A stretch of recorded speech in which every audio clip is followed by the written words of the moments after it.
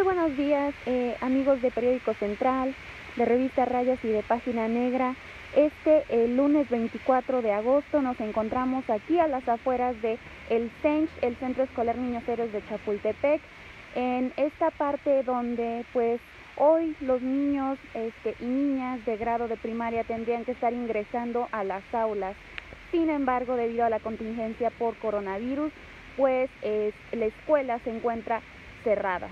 Se encuentra cerrada, no recibirá alumnos este día y bueno, este es un evento pues atípico debido a que nunca habíamos eh, tenido que suspender las clases ¿no? por tanto tiempo y pues este nuevo ciclo escolar 2020-2021 los niños tomarán clases en sus eh, hogares.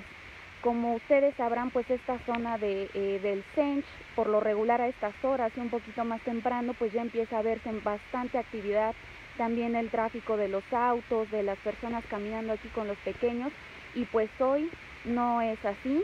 Como ustedes verán, la calle está totalmente vacía, eh, no solamente se ve, se escucha el transporte público a los lados de, de las calles, pero pues bueno, esto es prácticamente lo que se puede ver el día de hoy un día atípico, como les mencionaba, eh, solamente se ha visto el ingreso de algunos profesores, eso sí, pero bueno, en realidad pues todo está prácticamente cerrado. Eh, les recordamos que este, este lunes 24 de agosto inician clases eh, muchos, muchas niñas, niños y jóvenes a nivel primaria, nivel secundaria también. Y bueno, solamente para que eh, ustedes se den cuenta de cómo van a estar, van a estar luciendo las escuelas a lo largo de, este nuevo ciclo escolar. Vacíos completamente, eh, muchos eh, pequeños, como les comentaba, muchos pequeños, pequeñas y jóvenes, más de 1.700.000 estudiantes estarán ingresando el día de hoy, van a tomar esta nueva modalidad en línea, ¿no? Como ustedes sabrán, este, pues a través de internet y de otras plataformas televisivas y como la radio, pues van a estar recibiendo clases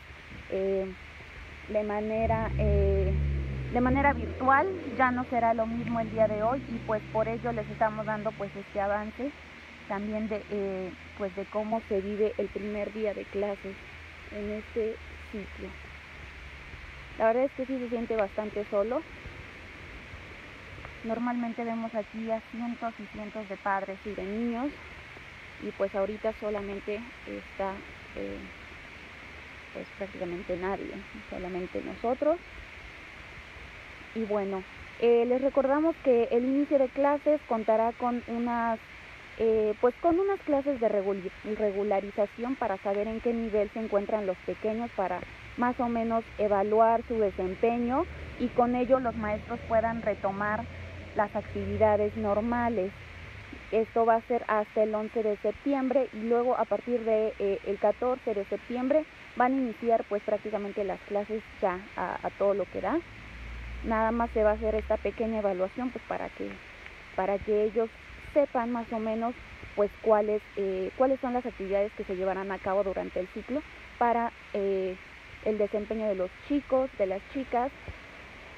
y bueno también eh, les, decimos que pues esto no es solamente una afectación pues también a, a los niños, pues también es para los transportistas y también pues por lo regular por, la gente que se queda aquí a vender algunas cosas, este, desayunos, taquitos, eh, también esa, esa, pues esa población va a tener que, eh, que ver un cambio, ¿no? En, en las ventas y por supuesto en el transporte público, porque pues bueno, muchas familias se transportan de esta manera y hoy en día pues ya no podrá ser así.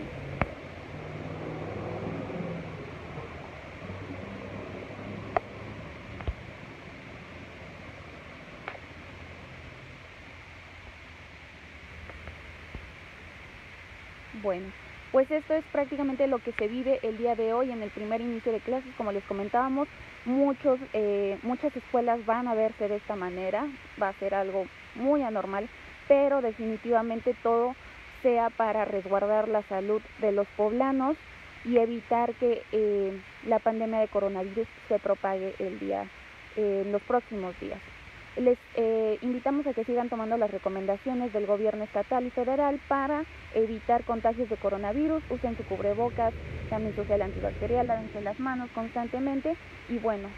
eh, esto es todo de mi parte, mi nombre es Carmen González, también les invitamos a que nos sigan a través de Periódico Central para que encuentren pues todas las noticias referentes a este inicio de clases. Y los dejamos pues con esta imagen del centro escolar completamente vacío. Les agradecemos su atención y que pasen un buen día.